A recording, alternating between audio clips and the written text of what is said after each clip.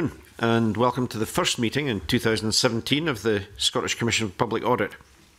Before we begin today, I'd like to welcome uh, Jackie Bailey and Bill, Bo Bill Bowman, who've joined the Commission since our last meeting. Welcome. And uh, can also put in record our thanks to John Lamont for his work as a, as a member of the Commission. I'll invite, first of all, Bill Bowman and then Jackie Bailey to uh, declare any relevant interests that they might have. Thank you. I would refer to my register of interests and to make the point that I'm a member of the Institute of Chartered Accountants of Scotland. I was until 2012 a partner in KPMG and in 2016 through a consultancy did some work for KPMG but I have not been involved with them since I became a member. Thank you. Jackie? Um, no specific interest to declare and I would refer members to my register of interests. Thank you very much and again welcome to the Commission. Um, maybe at this point, I should just remind members and uh, and uh, the public to switch off the mobile phones. Agenda one. Agenda item one. That's the election of a, a deputy chair because uh, John Lamont, of course, uh, has now left us, and uh, I would seek nominations for the position of deputy chair, and uh, I'd like to nominate Bill Bowman.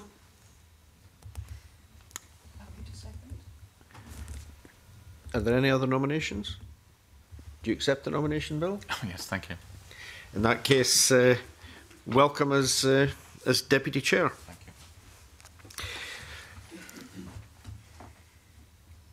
you. Next item on the agenda is item two, which is uh, the decision on taking business on private.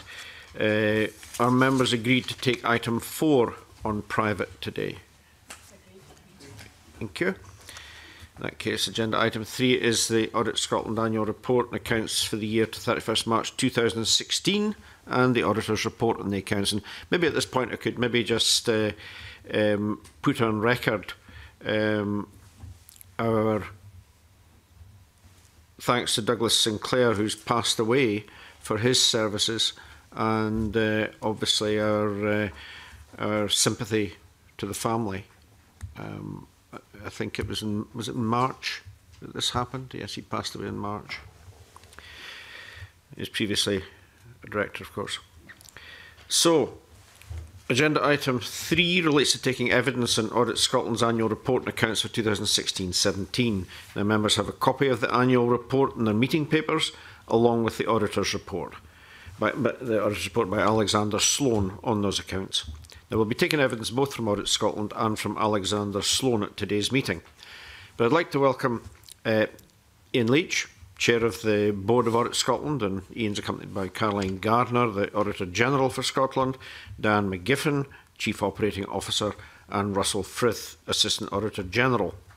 So I'd like to first uh, invite uh, Ian Leach, as Chair of the Board, to, to make a short introductory statement of no more than two minutes. Time is tight. uh, and followed by the Auditor General. Ian. Very tough constraint that, Chair, but uh, thank you very much. As you know, the main task of the Board, in addition to the statutory duty to provide the property staff and services required by the Auditor General and the Accounts Commission, is to oversee Audit Scotland's operations and make sure it achieves its objectives and its aims and to ensure we get value for money because it looks at everybody else to get value for money. In the last year, we have streamlined our work to ensure we keep pace with wider changes in Scotland's public finances. Significant steps have been taken to improve the efficiency and relevance of our audits and ensure quality is maintained. During the past year, we've delivered a new Code of Audit Practice 2016 and a smooth transition of new audit appointments and auditors for the next five years – This will save around £1 million per annum. The board was sad to hear, as you have indicated, Chair, of the death of our colleague Douglas Sinclair, who spent many years as Chair of the Accounts Commission and therefore by statute a member of the Audit Scotland Board. We have recorded our appreciation for his services and our regrets at his passing. His successor, Ronnie Hines, has recently been appointed to the board in his temporary role as acting chair. Finally, I'd like to thank my fellow board members and the accountable officer and all our staff for the hard work. And with your permission, Chair, and hopefully within the time limit set, Caroline can now add a few words. Thank you. Thank you, Chair. As you'll see from the annual report, we've maintained our focus on our core work. We carried out over 300 annual audits and produced 20 performance audits in areas such as the NHS, social work and policing. On behalf of the Accounts Commission, we've developed a new approach to the best value audit of local government, and we've also been developing our approach to Scotland's significant new financial powers. All of this has been underpinned by internal work to continue to improve the quality, value, and relevance of what we do. We've developed a new, simpler and more transparent system for determining audit fees to ensure that audited bodies, Parliament and our other stakeholders have assurance on the cost and the quality of the services we provide.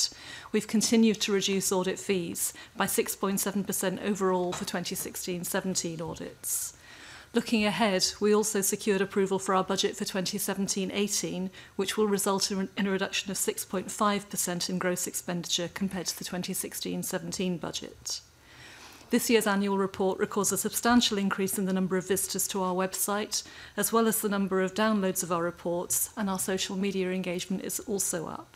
I hope this demonstrates that our work continues to be relevant and is reaching a growing audience. We continue to focus on communicating our messages as clearly as possible. As always, Chair, we're happy to answer the Commission's questions as best we can. Thank you, Caroline. Perhaps I can start with the first question.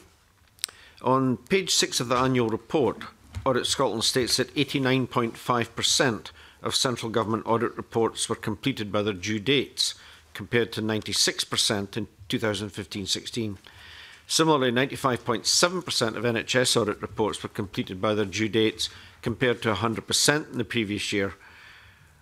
Obviously, there seems to be a little bit of a deterioration there. Can Audit Scotland indicate what the reasons might be for that?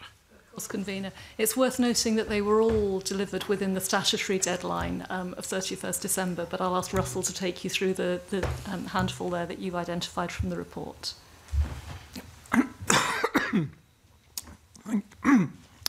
Sorry. Hand it back if you need to. Sorry. Um, yeah, a small number were uh, later than our target dates, um, which, as Caroline has already said, uh, are well within the statutory dates. Um, in most cases, these were only by a few, they only missed the target dates by a few days, generally due to the timing of the availability of uh, accountable officers or audit committee uh, meeting dates. So they were not anything that gave us any great uh, concern in terms of the, the delivery of audits. As I think you're already aware, one central government body was uh, much closer to the statutory deadline, and that was the police authority, which um, was also subject to a Section 22 report. Were there any other reports that were significantly delayed? The no, that was the one that was just the one. Just the one. Yeah. Okay, thank you, Jackie. Um, page 15 of your report identifies um, the need to improve the working environment of your Glasgow office as a priority for the forthcoming financial year. Um, I wondered whether you could eh, enlighten the committee as to why the Glasgow office has been identified, uh, simply because recently it was part of an overall rationalisation programme. So I'd be keen to understand what, what is actually going on there. You're absolutely right. We've been coming to the end of an overall property strategy which has refreshed and streamlined our prop property portfolio. I'll ask Diane to talk you through our plans for Glasgow. Uh, thank you. We're um, extending and increasing the number of flexible touchdown working spaces in the Glasgow office, and that reflects the different geographical we need following the round of new audit appointments, where we have slightly more people who are Glasgow based working in the west of Scotland and not located in um, the audit offices of our clients. So we just need to increase um, and, and make available more touchdown space for people moving in and out. So um, we've, we're um, doing the work over the summer and it will be um, open to staff at the beginning of August. So it just increases,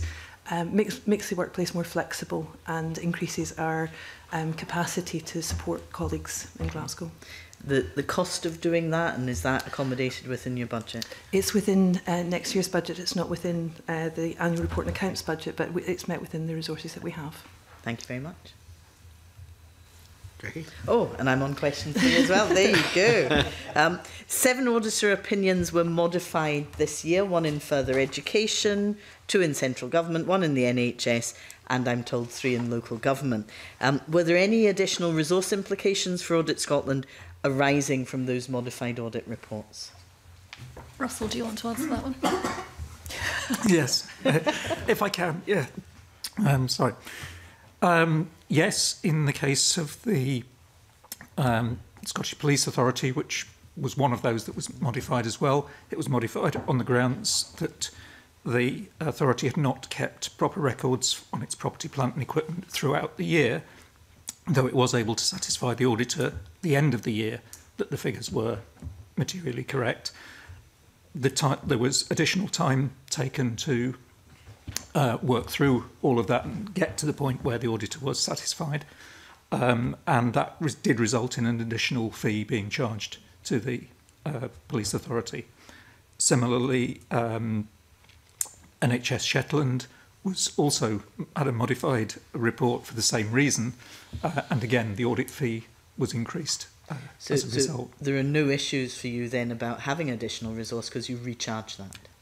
Where they are chargeable audits, which those okay. were, um, had those been non chargeable audits, then potentially, yes, it would have been a, a resource issue. And is that accommodated? We have an allowance within our overall um, work plan for uh, a bit of additional audit work. Um,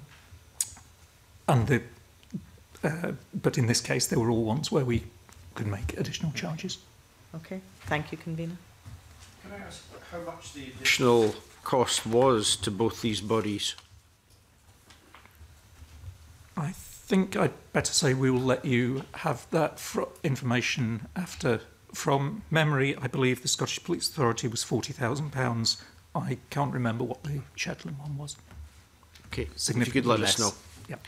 Um, Alison. Um, thank you, convener.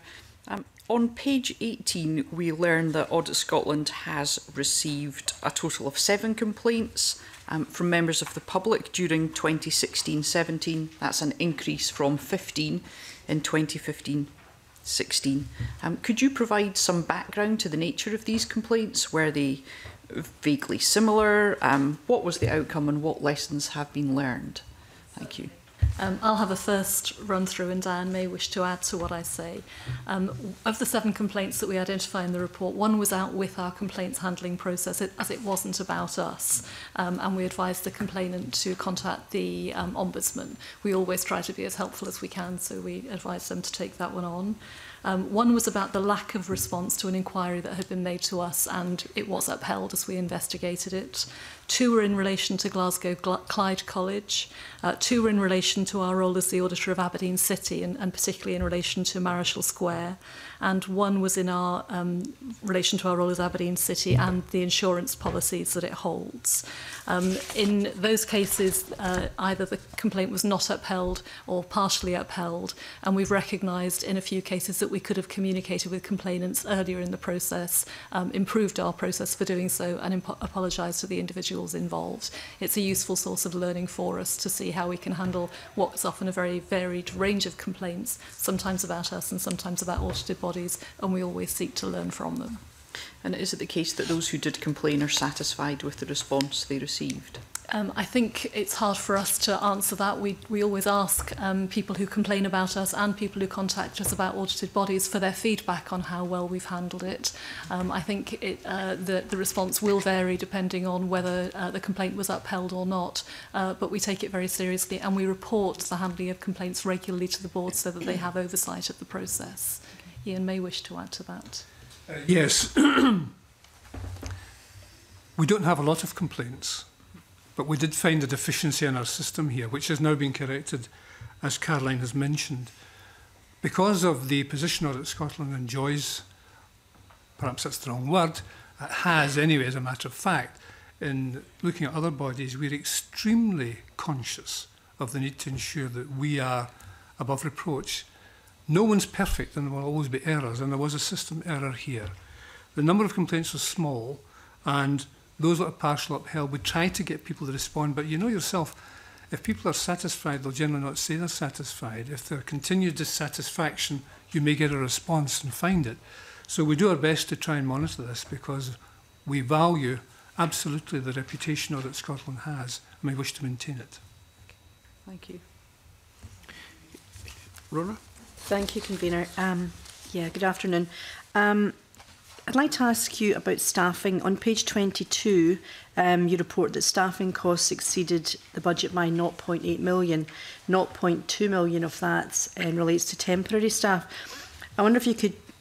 sort of explain the apparent uh, contradiction um, whereby the number of temporary staff exceeded your budget to that amount, yet full-time staff are being released um, by way of early retirement and severance in the early part of 2017-18. Certainly. Um, we've had a policy over the last five years of um, looking to reshape our workforce to make sure that um, we're getting the right skill mix in place to carry out the work we need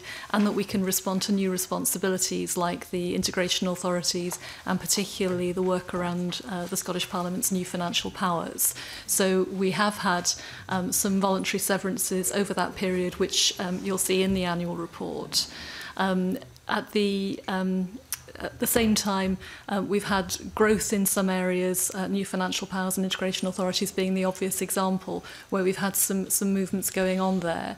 And we have a deliberate policy of using um, temporary staff in a planned way for two particular purposes. One is that the annual audit cycle has a very significant peak over the summer each year as we head towards the sign off of audited bodies um, in a, a very compressed period, particularly for NHS bodies, which are due to be uh, completed by the end of next next week. Um, and the secondly, second need is to bring in particular skills um, for the performance audit work we do, where we're looking to bring in people with expertise in the areas that we're looking at for a, a, a significant but limited period of time. Um, and we often fulfil that with secondments from other public bodies um, to make sure we've got the skills we need to do our work well. So you will see that sort of shifting going on against a backdrop of reshaping our workforce. We plan to use temporary staff for those reasons.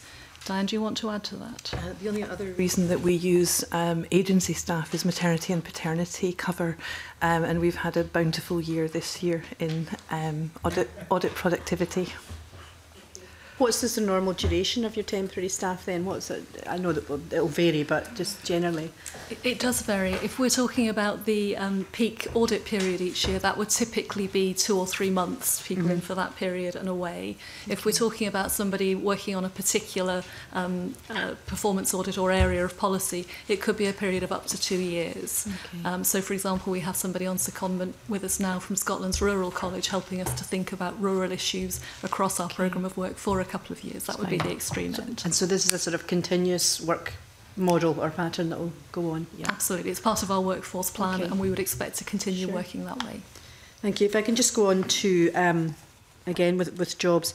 Um, can you offer any background to the specific reasons that um, new job roles, grading and pay and reward arrangements will be a key priority in 2017 because you, you, you say that on page 15 of the report? Style. Um, at the end of um, 1617, we agreed a new um, package of pay terms and conditions and uh, rules with our trade union representatives, and that was put to a ballot of staff and um, who voted um, overwhelmingly in favour of it. So we're implementing a new way of um, managing careers and managing recruitment and internal promotions and so on. So what we're looking forward to in 1718 is really embedding those new principles of work. We did a lot of work. We worked for two years with um, union colleagues and staff to design a new system to take into account how people wanted to work, um, the aspirations people have for careers. Our new system is designed around all of that. Um, getting the agreement is one thing, making it come to life uh, this year is another, and that's what we've mm. focused on to comment?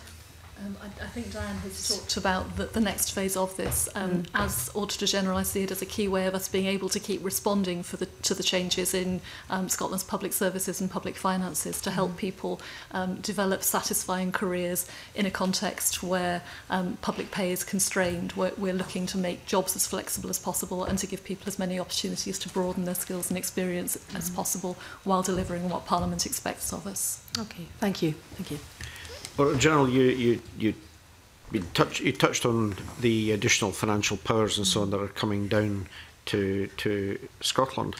And obviously, there's going to be very substantial changes over the next year or two. Are you satisfied that you, at this moment, have enough resources to be able to deal with that and to prepare with that, prepare for that? Um, I know we've asked you this before, but it's something that uh, the Commission has a, considerable interest in. At this moment, yes, I can give you that assurance, Chair. Um, the Commission has been good enough over the last couple of years to support our investment in developing our thinking, our understanding of these issues, and developing our response. Um, and members of the Public Audit Committee will have seen the reports that we've published in this area already. Um, we are at the stage now, I think, of having a much clearer understanding of what this means in terms of additional audit responsibilities with the establishment now of Revenue Scotland, the Scottish Fiscal Commission, and with legislation passing passing through Parliament today the Social Security Agency, um, and it's probably a good opportunity for me to ask you to look out for a substantive resource bid in our budget bid in the autumn, looking ahead to the longer term um, to reflect what we now know will be required in those areas based on the work we've been doing over the last couple of years. So you will be coming for additional resources? Um, we we think that we know that with the new bodies that are being established, there will be a need for um, audit resource to do that. And we think that given the um, requirements on Parliament to be scrutinising a much more complex budget, which includes, um, for the first time, significant revenue raising powers, raising about 50% of what's spent in Scotland, and managing social security powers that will have a significant impact on the lives of a lot of the most vulnerable in Scotland, we will need to come back to you with proposals for how we resource that work and support Parliament in its scrutiny of those new responsibilities. Um, and we're working up those proposals just now for our budget bid later in the year. Now, if you're taking on additional responsibilities and work, that means somebody's giving up responsibilities and work. Would uh, maybe it's an unfair question, but uh, would one offset the other? It's a very timely question. Um, we are currently um, thinking through with colleagues in government and um, in the National Audit Office at a UK level uh, how some of these newly devolved areas that will continue to be the focus of both the, the UK Parliament and in future the Scottish Parliament should be audited and held accountable. Um, I suspect it won't be as simple as saying there's an offset in there because both parliaments will retain an interest. Um, but I think it will depend to an extent on the, the detailed shape of the new audit and accountability arrangements that are put in place and they are still developing. I think a concern would be if there was a significant overlap yes. and uh, duplication of effort. I, I would cost. share that concern, both in terms of resourcing and in terms of clear accountability for the services and the finances that are being managed. Um, so we're, we're at the early stages of looking at the proposals for the very new areas, but I think it's an entirely appropriate question to ask. Okay. Bill. Um, thank you, convener. Um, uh, maybe I could just say at the beginning, this is a, sort of a new venture to me, and there's quite a lot of paper to read. And your report is um, quite recent, so I, I've read it and drilled down through some of the links as well to the sort of sub sub report. So if I haven't quite got my understanding correct and your structure and your organisation, which is perhaps a little bit unique, um, please take that in, in that context. Um, to me, audit quality is kind of key to an organization like this. And you know, I find reference to quality and approach to quality, but it perhaps wasn't the sort of upfront and center that I was expecting. And I, thought the key risk would be a risk of audit failure. Um, and it, it, I suppose it's in there. And that, well, that's just a comment on the way I, I read, the, read the report. One thing I would ask for, and you don't necessarily need to tell me now, but um, to understand the structure of regulation that you operate under. Is it from outside or is it internally generated? And I know you have a quality control um, section. I, would be interested to know the actual results of the reviews that you that you did at, at some point. And if before I get to my real question, uh, one question specifically on the financials. Uh, I see you've got a large pension deficit. and I, there's quite a bit of explanation of how it's calculated, but I wasn't quite clear as to what it actually means to the organisation and if it actually has any impact on what you do or whether it's uh, somebody else's problem that um, that appears in there. Thank so, oh, I'll, I'll kick off. I'll give Russell notice. I'll ask him to come in, um, particularly on the pension question, um, but I'm sure he'll also have something to say on quality. The first thing to say is that I absolutely share your concern about audit quality. Our reputation stands or falls by the quality of the work we do. Um, we know that um, in the current political climate in Scotland, it's very thoroughly tested by stakeholders um, from a whole range of perspectives, and it has to fulfil all of our professional requirements and stand up to that sort of challenge. And, and I take that very seriously. I hope you'll be reassured to know that alongside the annual report, we also publish a separate audit quality report, which is published on the same day, and we can send you a copy of it. Um, it's also worth noting that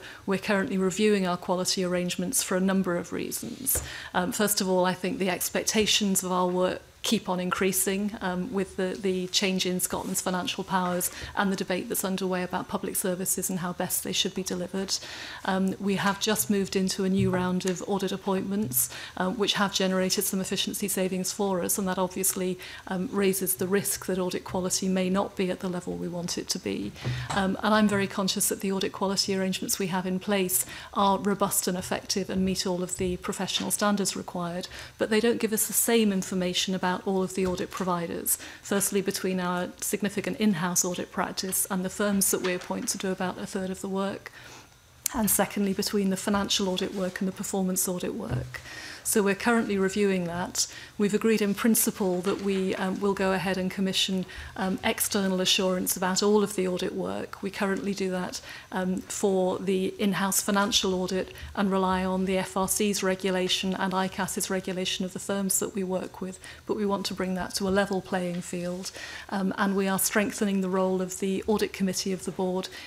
in overseeing that quality assurance and making sure that it provides the assurance that they expect on behalf of me and the Auditor General.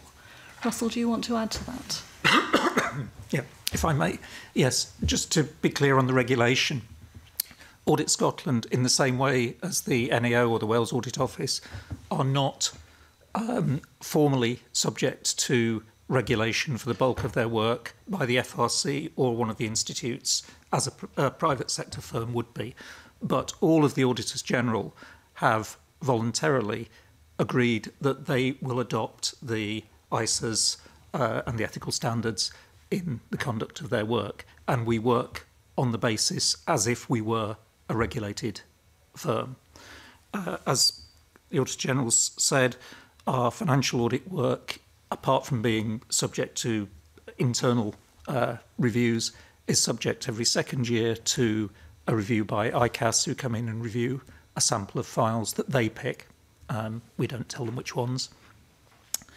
And we are currently looking to extend that, the scope of that work to include the firms and the other types of audit work. The firms, which obviously are regulated by the FRC or ICAS ICAW, um, those regulatory reviews tend not to include the audits that uh, where we've made the made the appointments. That's why we're looking to plug that that, that gap and extend the, the, the scope of it. In relation to pensions, um, then you, you're quite right. The, uh, the deficit that is identified in our accounts uh, relates to the bulk of our staff who are in the local government pension scheme, the, the Lothian uh, element of that. And what it represents is our share of the overall deficit in the scheme as calculated by the actuary um, in accordance with the accounting standards, IAS 19 in this case.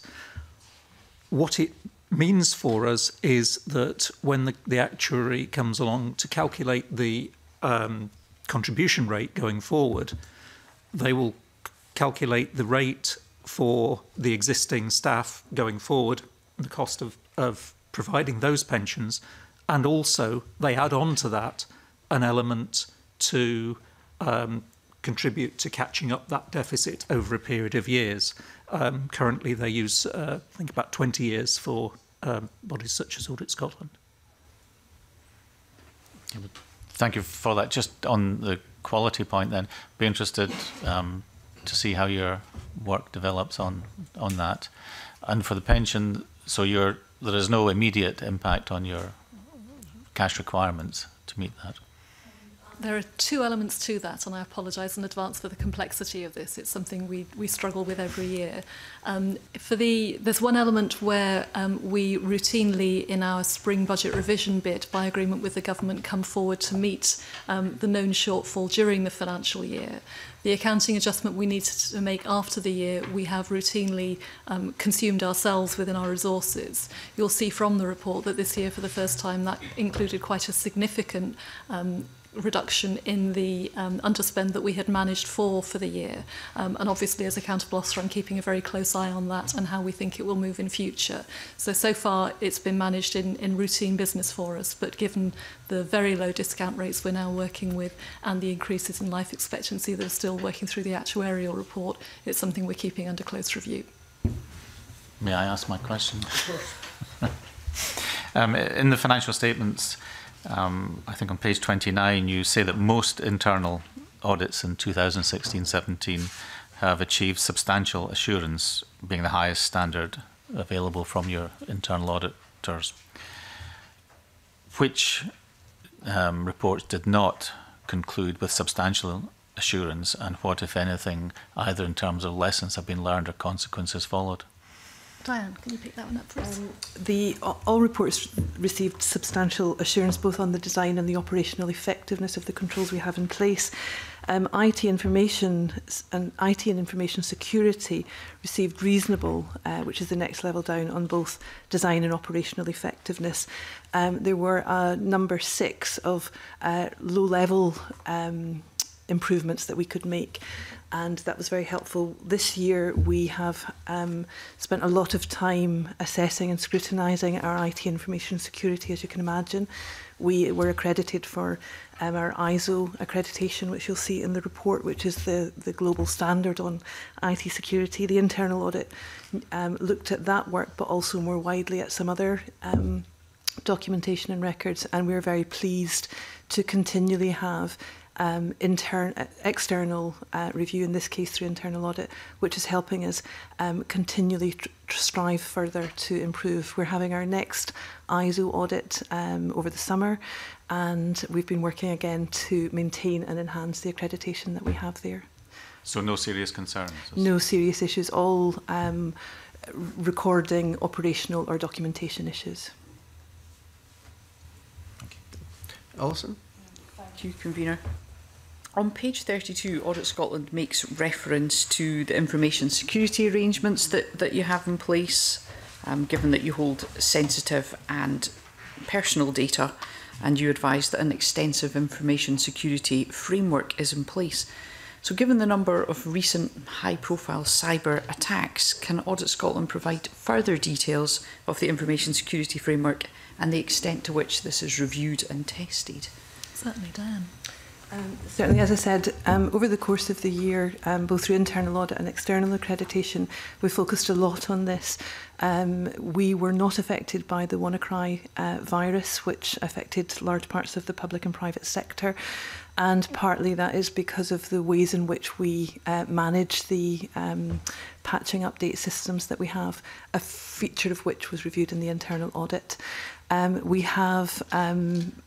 we commission external testing of our um, security to provide us with ongoing um, information. We this year also ran internal um, checks, sending um, fake emails internally to see if people would click on links, and then we report back to, to colleagues to say, uh, uh, in this case, it was really good. No one clicked on the, the links which might have contained viruses. And we have a rigorous program um, of all of that. Since the WannaCry virus, we have um, been running weekly updates on Yammer, our internal social networking site, to let people know um, what else we can do. We've run some training sessions for colleagues and we've been sharing um, both for our own, the management of our own security, but also for the information security auditing work that we do as part of our programme of audits. We've been sharing current thinking and best practice on IT auditing and security. So it's, it's pretty comprehensive. Um, and it is the subject of um, regular reports to our audit committee. It has been a feature of our internal audit programme um, each year for the past several years, and I can't see that changing. Um, yesterday in Health Committee, one of one of the committees I sit on, we were looking at the the issue of the recent cyber attacks, and we had two uh, senior IT um, officers who work for the NHS, and we also had Professor Bill Buchanan from Napier University, who's regarded as something of an expert in this field, and he was pointing out that medical records are now regarded as, uh, you know, th they're worth more than than a credit card, for example. So this clearly is an, uh, an area of great concern, and I know I think the NHS were also, uh, you know, reaching out to staff, sending test emails to see how people were reacting, and I, it, it seems that you know perhaps you weren't hit because your your own practice is fairly sound. How I'd like to understand how Audit Scotland are liaising with or other organisations because you know, being caught out in this way or being affected by cybercrime could have a serious impact on many organisations' accounts. So, what joint working is going on in that regard? It's a very good question. Um, first of all, um, we recognise that as auditors we have privileged access to sensitive information from all of the public bodies right across Scotland so we have a duty to treat that with as much care and attention as they do and that um, is reflected in, in the approach that Diane's outlined for you. Secondly, in our audit work, auditors um, will routinely see uh, digital risks as being one of the risks that they have to be addressing through their work as part of the wider scope of public audit, which is enshrined in the new Code of Audit Practice that's mentioned in our annual, um, our annual report here um, that wider scope over and above the financial statements uh, asks the auditors not just to review um, governance arrangements, including information security, but for the first time to draw a conclusion about them. And that involves them working closely with the audited bodies to understand the risks they, they face in a particular um, set of circumstances, how they're addressing them, and how they're dealing with any shortfalls or problems that they face.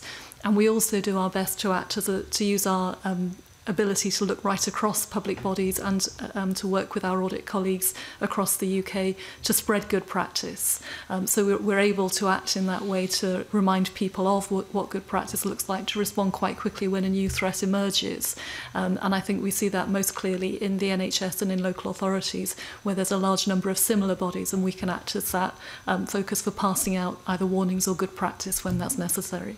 Okay, that's helpful, thank you. Um, on page 33, you do make reference to, to a breach in your records management policy.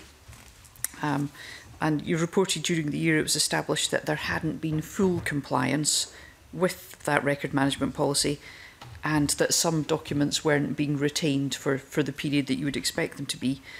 Um, and you state that almost all of the documents were recovered, but clearly not all of the documents uh, have been recovered. So Can you just tell us a bit more about how this situation arose and what will happen? You know, uh, you know how, how will you address the fact that some of these documents simply weren't recovered? I'll ask Diane to come in in a moment. Um, it's probably worth starting by saying the problem arose because of the focus we have on information security. Um, our document management system is set up on the basis that documents will expire after a certain period unless they're marked as records and retained. Um, and that was the, the um, issue that led to the problem.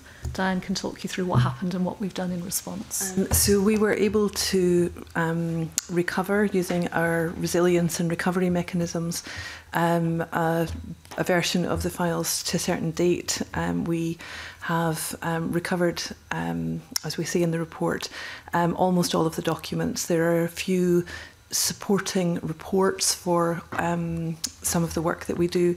Um, that are uh, that we haven't been able to recover, but we they are not significant uh, for the work. The the work is all concluded, and these were supporting pieces of information. The primary reason for for the issue is, is really um, just colleagues uh, on occasion hadn't followed the guidance that we have in place. And in, on occasion, this has just been um, compounded by um, absence or um, busy periods of work. So we've done um, a lot on the back of this exercise to share all the information we know about um, with colleagues about what was happening. We've enhanced our processes. We have done uh, refresher training for everyone on how the records management system works, and um, and so on. And I think um, we're all very uh, concerned to ensure we learn the lessons. We've implemented them as well as we can. We know this comes down to how we as people use the systems that we have. And that's been a very big um, alert for us. And we've used that to um, develop training and uh, discussion sessions with colleagues to make sure everyone's aware of what happens if we don't follow the procedures. Thankfully, in this case, the actual loss is, is quite small, um, but the learning is quite big. Thank you. Thank you, Convener. Could I ask a follow-up to that? Of course. If I may. So were these documents to do with the running of the business or the running of the um, the engagements, whether audit documents. Do you have electronic audit files?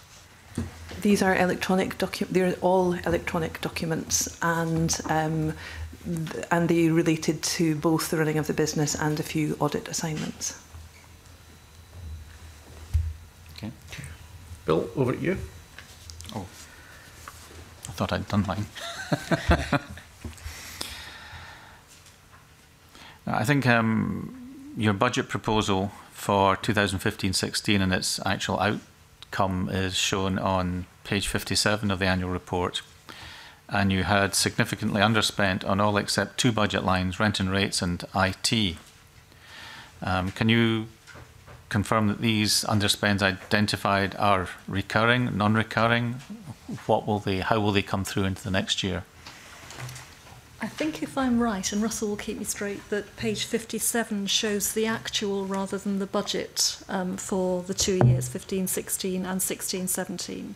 Um, we can certainly explain the variance between the two years, but just for clarity, I think it's actuals. Um, and Russell can pick up the IT and rent and rates lines um, from that page. 57. Yeah.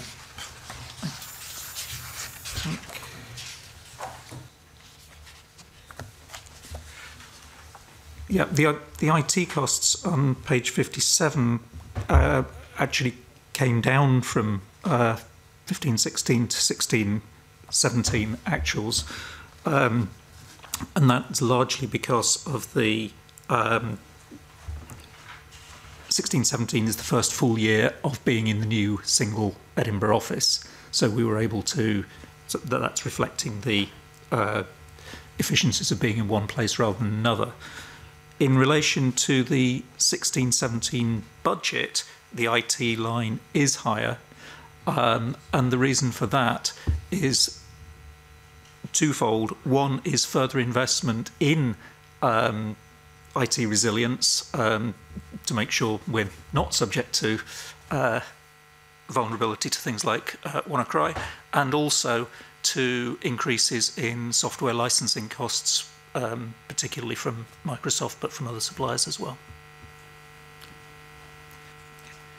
Thanks, Um, just uh, one last thing there. On page 35, the annual report states that a benefit in kind provided for the Director of Audit Services has increased by 16% from 4,500 to 5,002, following an increase in the previous year of 18%. What's the reasons of the increase over, th over that period, and what governance do you have over approving such increases? The benefit in kind for the Director of Audit Services is the provision of a car under our car scheme. Um, she is the only director who receives a car and it reflects the nature of her role, which is managing our um, in-house audit practice across Scotland. Um, it's a very mobile role compared to the other management team members here the figure for the benefit in kind um, that we are uh, required to show in the accounts is the taxable benefit as assessed by HMRC, um, and it reflects both the taxable value of the car and HMRC's um, decisions about the way in which that is taxed for a given individual. Um, the increase simply reflects a difference in the um, way in which the um, benefit is assessed by HMRC and not any difference in the cost to Audit Scotland, which is uh, capped and fixed for all employees. Okay, thank you. I'd like to just pick up one or two things in the report in the time on our way. Um, on page 9, uh, bullet point 5, of 4 and 5 really, um, again, you've referred earlier on in this meeting to reductions in fee levels. I think almost every year you've cut fees You're now in a position, of course, where that probably, and I'll welcome your comment on that, won't be possible in the next, certainly in the next year or two, because you're going to be asking for more money.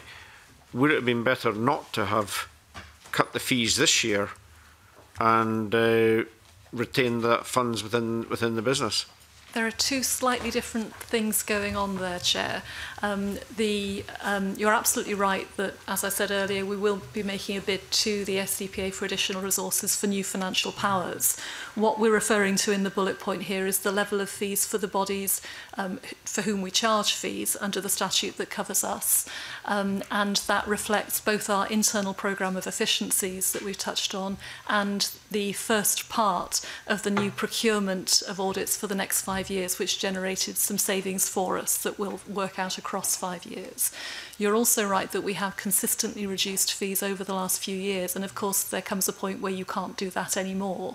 Um, we are in the middle now of putting in place our financial strategy for the next three years, which will help us make decisions about how best to um, manage our finances overall and convert them into fee levels for the three quarters of our income that comes from fees um, you'll recall that we are constrained in that both by the legislation which requires us to break even, taking one year with another, and doesn't enable us to carry reserves forward, um, and by the fees policy which we've consulted the SCPA CPA on, which aims to bring in more balance across individual sectors from year to year. Um, so the, the um, savings that we've made so far we think are a useful contribution to the financial pressures on public bodies. They can't continue indefinitely, um, but there, there is a difference between the fees we charge and the new responsibilities for um, things like the Social Security Agency and the Scottish Government increases that will come through in future. You've touched on uh, fees and the work you've been doing on fees, which of course this Commission has been very much interested in for over a period of several years. Have you now completed that exercise and uh, are, are we satisfied that there's no possibility of cross-subsidy or you know, similar anomalies? we have completed the work um, and as part of that, as you know, we have reached, um, the board has agreed that we will aim to balance each sector taking one year with another rather than the overall fees, which is what our statutory provisions require. Um, we're currently um, finalising the management information that's needed to help us monitor that throughout the financial year. And obviously at the budget setting period, we'll be in a good position to um, check in on where we are and how we take that forward. Um, we saw some fairly significant movements between sectors last year at the start of the new audit appointments. We saw significant reductions, for example, for local authorities and NHS bodies, and a, a shift um, in different directions in the central government and FE sectors, reflecting some historic imbalances that were there care. We think those are now thoroughly worked through, but we're still monitoring that carefully, given it is a significant change in our financial management and the overall approach, approach that we take to raising fees. Keen interest in this, we did supply you with the fee strategy last year, and we did indicate that I'd been looking at this question of cross-subsidy. It's unhealthy to have one sector cross-subsidising another. It's historical, and we've After a public consultation with our client groups, we introduced a strategy, and I think it was endorsed by your committee, which is transparent and it shows where the proper charges should be. And that's what we are doing. Good.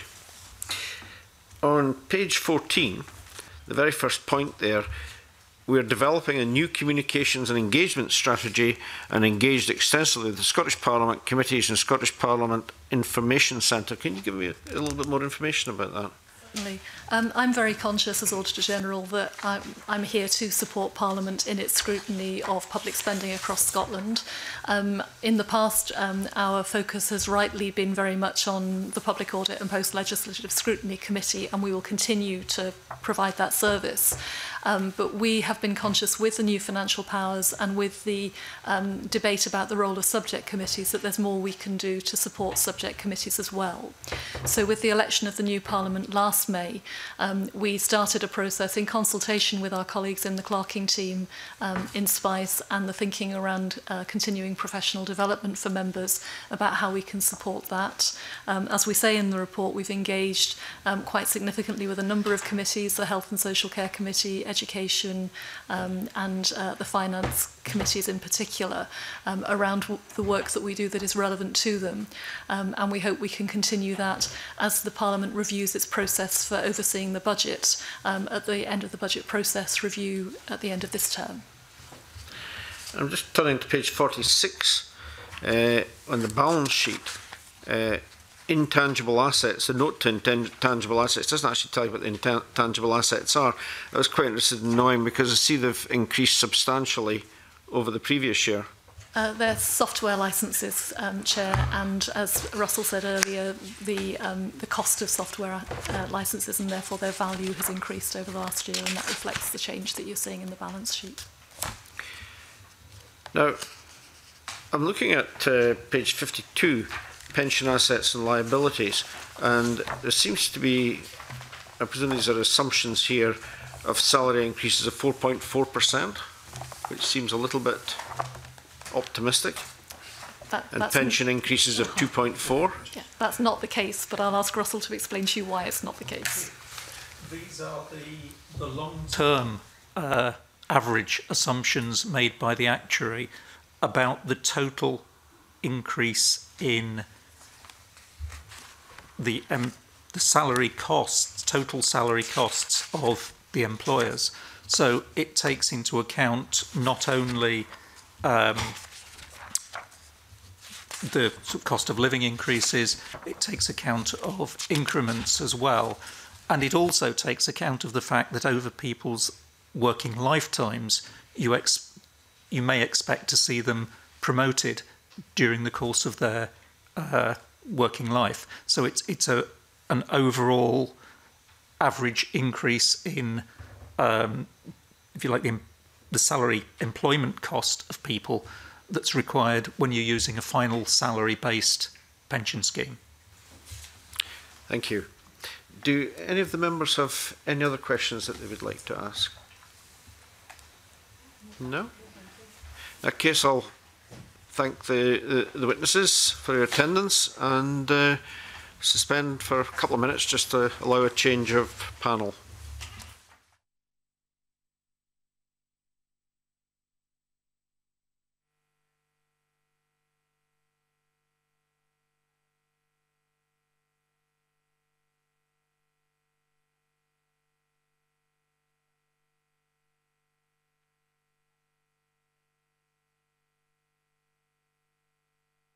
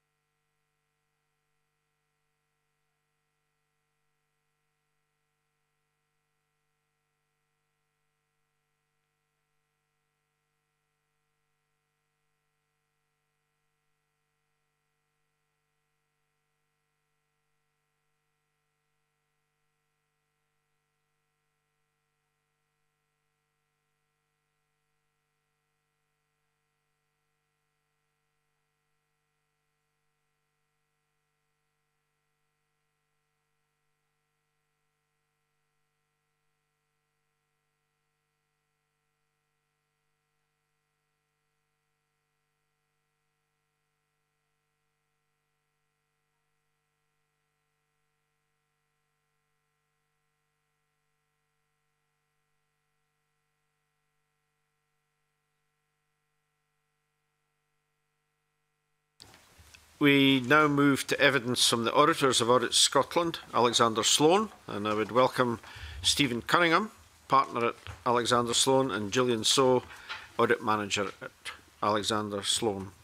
Welcome. Perhaps uh, I've got one or two questions. I'll maybe start with the first one.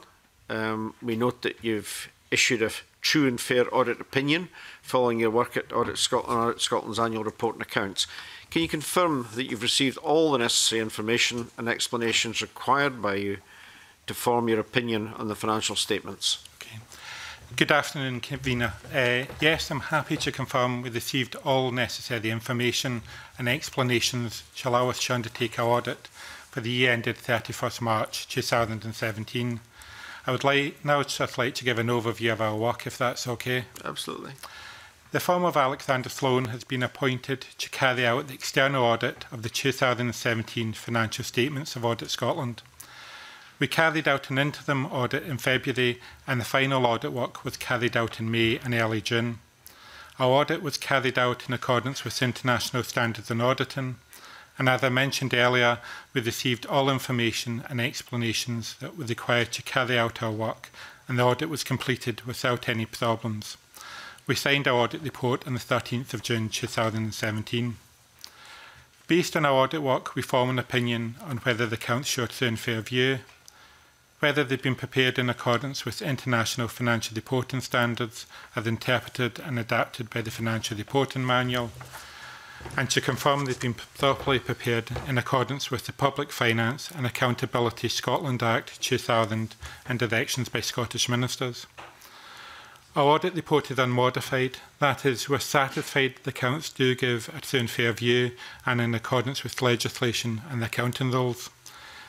There are no significant matters which require to be brought to the attention of the Commission or the leaders of the accounts.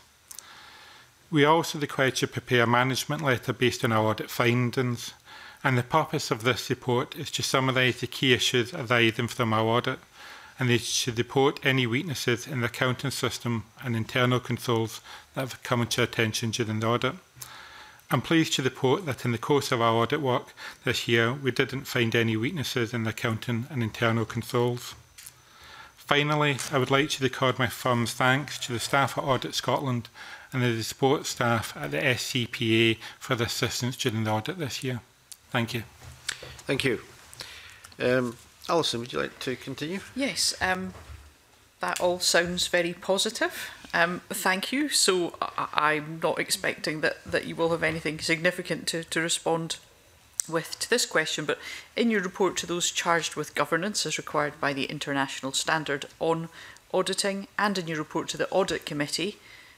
of Audit Scotland, did you raise any matters that this commission should be aware of? No, there was no matter that is So there's no significant matters we felt uh, should be raised to the committee. Okay.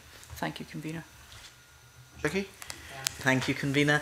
Um, Audit Scotland included a sum of 1.7 million or thereabouts in their accounts, which relates to work to be completed but hadn't yet been charged for. Are you satisfied that the calculation of the figure is robust? Yes, I mean, we we had a, a detailed look at the work in progress figures and we're happy with the work in progress figures within the balance sheet of the accounts. Okay, can you explain just for the benefit of the committee um, how this process is undertaken? You know, how you reassured yourself that actually the process is is okay.